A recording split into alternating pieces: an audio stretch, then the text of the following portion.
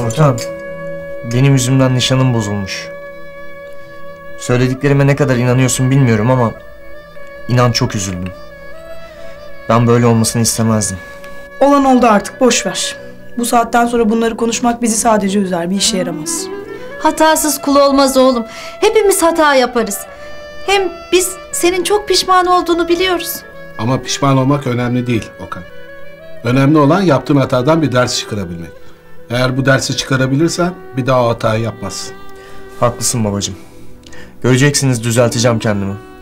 Hemen bir iş bulup çalışacağım. Yo, işe falan girmek yok oğlum. Eski hayatına çizgi çekeceksin. Biz senin okumanı istiyoruz. Üniversiteye gideceksin. Sizin gibi bir ailem olduğu için çok şanslıyım. Başkası olsa bu kadar anlayış göstermezdi. Çok teşekkür ederim. Her zaman söylüyorum oğlum. Biz bir aileyiz. Belki başkaları kadar paramız yok ama bizim sevgimiz var. Bizi de ayakta tutan bu sevgimiz.